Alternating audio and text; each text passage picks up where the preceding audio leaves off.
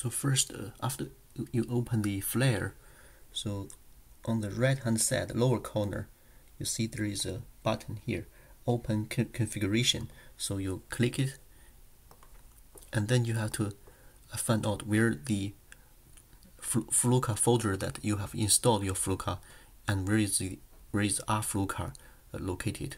And these these are the settings. So you can just uh, use these settings to to link the Flair with your Fluka.